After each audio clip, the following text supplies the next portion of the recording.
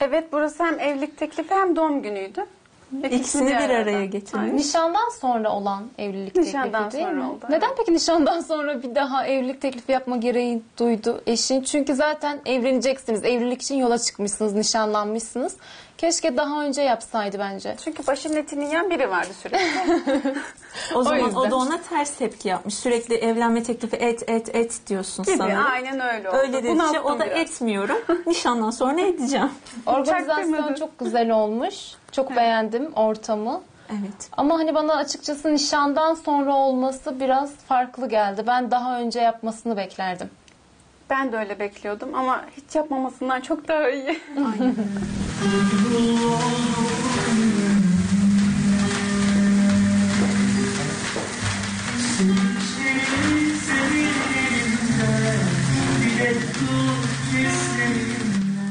Eşiniz normalde romantik midir? Size böyle sürprizler yapar mı? Evet eşim düşünceli. Bu tarz şeyleri de çok sever.